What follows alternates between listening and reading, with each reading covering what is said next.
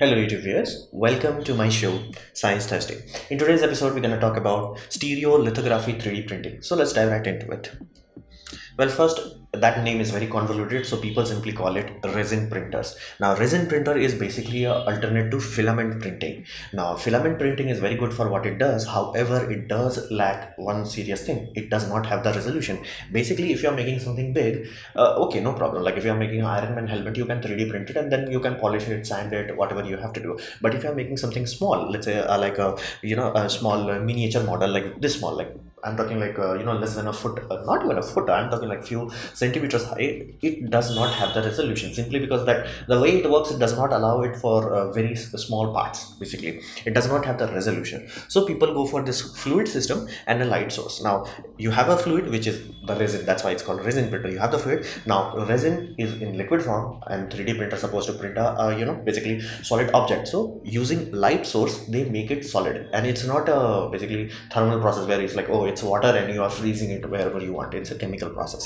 And it does produce very high resolution products. Basically if you want to make a action figure let's say you want to like okay i'm going to print a thor now if you take a, a thor print on a this printer versus a filament printer this will be so much better. Like you have to do a little bit of uh, work on like you know in terms of painting and all that to make it really pop out. But uh, in, if you are using with a filament printer you have to spend a lot of time to polishing it sanding it or like you know acetone uh, acetone melting it so you have to understand like many people flat out choose resin filter because you can understand this bottle is not that big but this action figure has a lot of detail for its size.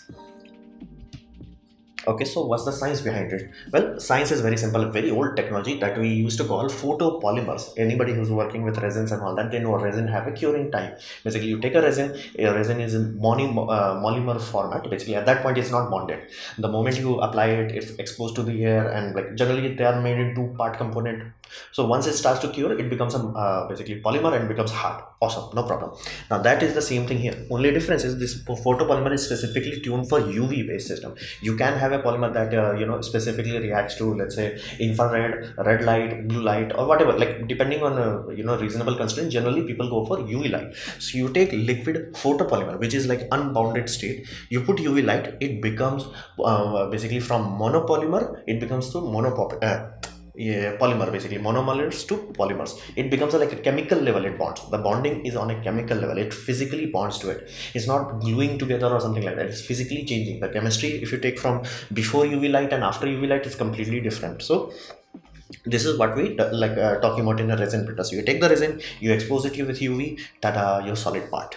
Now liquid vat and curing light depending on like how, how you want because some systems have uh, basically uh, the liquid vat is in like floating state and you pull your build platform. Others have where your uh, build platform sink deeper into the uh, basically liquid. So depending on how what you want and why you need it. And basically 3d printer is basically layer printing. If you even if you have a 3d printer uh, basically paper printer that can cut out things you stack enough of them that's a 3d printer. So this also does the same thing. Basically it also works in layer by layer so uh, depending on different resin basically you can control the color of the resin what you want exactly what you want. You want red green yellow uh, transparent whatever have you. Or sometimes people use this for very good interesting thing in jewelry making and dental works where they make an actual casting and then they melt it basically. Uh, the, make the cast uh, the cast is positive then they make a negative cast using sand or ceramic and then they pour metal into it so it does have a lot of serious advantages when it comes to the resolution aspect. And that's how it works. You're relying on basically photopolymers and uv light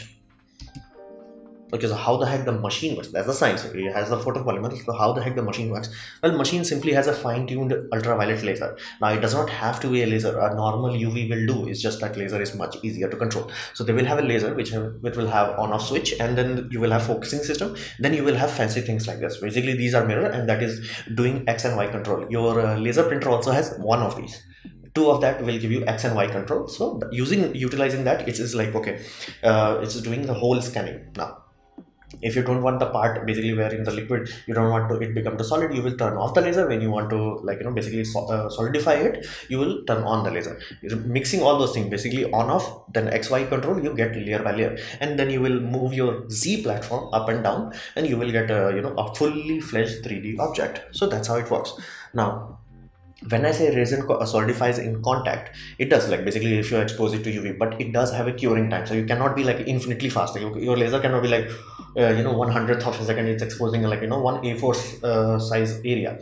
It has a curing time. So again, depending on the resin system, depending on your laser intensity, depending on the temperature of the system, all of those things contribute into exposure time. Generally, these things are uh, uh you know kind of tolerant, so you do not have to be like absolutely precise. But for absolutely stunning result, you have to be precise so these are the laser. These are the first systems that hit the market. Then somebody realized why use laser, why not use a simple light source? Because again, laser has nothing to do with it. You just want ultraviolet. Specifically, if you can make it uh, monochromatic and like absolutely focused on one spectrum, awesome.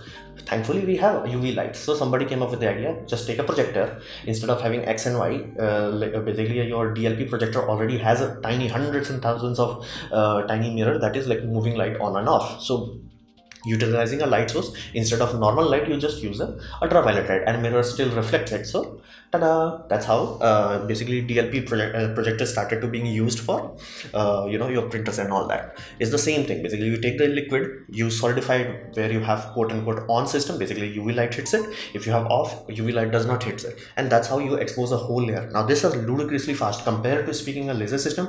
These are like 3 to uh, 3 to 15 times faster than any other system because again it's exposing the whole layer think of it this way like if you're talking about a filament printer whole of the uh, layer can be like tuk, tuk, tuk, tuk, is like a, a, dropping blocks in a you know sense so to say. It's ludicrously fast. This uh, for, uh, poly PEO poly PO poly uh, printer is very fast. Like it can print this size objects in less than 24 hours. Now you might be like okay that isn't that like you know kind of slow? Well yes but for the resolution it can achieve because if you have to achieve that resolution in a filament system first you can't. Second even if you try to do that it will be very slow. So given the resolution and the size and the speed it's amazingly fast because it's exposing the whole layer one by one. It's like tuk, pull it up. And again the reason it's even that slow is simply because the resin needs time to cure. Uh, if the resin was like you know one hundredth of a second or one ten thousandth of a second you will have like simply like this 3D, like you know, magic hat. It will literally look like a magic hat. But again, resin is a bit slow. You have to print support structure. You have to have uh, like you know curing time and all that jazz. Temperature management also so people use that now again dlp chips are very expensive so somebody came up with the idea why the heck use dlp just use a 4k lcd so you will have hundreds of uv light again depending on your design depending on your system you will have uv lights and then you will have a uh, basically diffuser then you will have a LCD. LCD is basically on and off circuit. Basically, it allows like how much uh, light uh, needs to escape and how little has to escape. And thankfully, you don't need contrast in this sort of scenario. You need only on and off. You just like either off on if they do not know oh little bit light no you just want on and off and high resolution is allowed to for your precision. However side effect of that design is inherently uv light is again destructive. It's very powerful very destructive. You're going to destroy the lcd over time. Now this printer uses lcd side effect the lcd is a quote unquote consumable. So they are making lcd a module as a like you know replacement part like you know buy this or buy two extra lcd module. Because worst case scenario they are expecting 200 hours uh, lifetime. Now 200 hours is not like okay you put uh, you bought the printer you open the box 200 hours from that. Now it's like how long it's been exposed to uv light. Now they are saying that uh, they are uh, working on improving the system. Specifically if they can keep it cool they can push it for much longer and they have successfully achieved 1000 hour. But you get the point. Basically in lcd system lcd becomes a disposable unit and dlp is much more expensive. However both of them are ludicrously fast so why uh, you know you don't see this in like thousands of like if you uh, search youtube for normal 3d printers you will find filament printer like you know 10 times before you find even one uh, basically you know uh, liquid resin system. Why? Well simply put resin while it's in monomer state basically uncured it's flat out toxic. It can harm you. And in, and i mean seriously like it can seriously harm you in medical terms you will need a hospital to cure yourself. So to say it's not something that you can just yolo around. It's something dangerous. It has to be taken with serious care. Now again, if you're mature enough, you are in a scenario where you don't have you know cats, uh, cats and pets running around where you know you can tap all over the resins and all that. You are good, but you can understand. Many people want something that is quote unquote foolproof. This is not flat out not so that that is one flat out for many uh, that primary reason people are like yeah no i can't even touch your like you know resin you cannot dip your finger and if you see any youtuber like i have provided a safety video down below and most of them have to use gloves for it so again not only your printer is consuming things you also have to buy gloves safety glasses and all that. Again adds to extra cost. Now on top of that that's a chemical risk based on the fluid.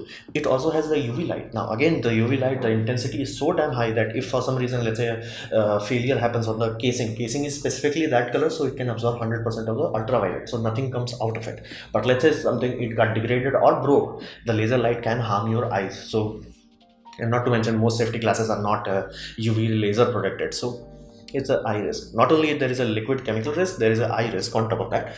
Now let's say you are um, uh, mature enough and you are calm enough that you can actually handle the system. Again people are using it. It's not something that is like you know forbidden technology or darpa technology. People are using it. You can buy it on an open market or amazon. So let's say you did that. What is the final limitation? The final limitation it does have ludicrously high resolution. However it is soft. Inherently it's a resin. And it's not hard resin that you use in fiberglass. It's inherently soft. Like you can make something this small to give you an idea that's like a small uh, just twice the size of your thumbnail uh, it does not have enough uh, rigidity. So basically, that's why you never see somebody using a resin printer to print another 3D printer. While uh, filament printer, not precise enough, not like you know high resolution, but you can print a 3D printer with this. So if you are uh, someone who is a hobbyist, most of the time you will be happy with this system rather than uh, resin printer. Not only that, resin printers generally offer a smaller build volume. How big you can build is much smaller. So if you are doing 3D printed tank and all that jazz, uh, resin is not gonna be you know your friend. However, for jewelry industry where they use it as a casting or testing of the design, basically like, okay, is the design good enough? There is no alternate to actually putting out in your finger and like seeing it. Like, and then many uh, jewelry shops have like you know models whose sole job is like you know they are hand model basically. So designer will design a ring and then put in their finger and like see how does it look. So uh, you can try all your CAD all day long, but it does not mean anything unless you can actually see it in three dimensions. So for them, like this is a god, a sense, and they are old enough, mature enough where they can handle this. So these are the certain consequences. Primary for, reason for me uh, for not recommending is that even if you handle all the toxicity and laser risk and all that jazz, it just makes soft parts. So I'm like, I don't need uh, you know miniature that badly that I'm gonna invest into the system. So if I gonna buy a 3D printer, 100% of chance it will be a filament based one. So this was my presentation on stereolithography. I hope you liked it, learned from it. In that case, please click the like button, share it amongst your friends. That will help me out a lot. And if you didn't like it, didn't enjoy it, I urge you to press dislike. Press it twice to show me your disappointment. Please leave a comment because I reply to all of them. Subscribe, press the bell icon if you're free. And as always, thanks for watching.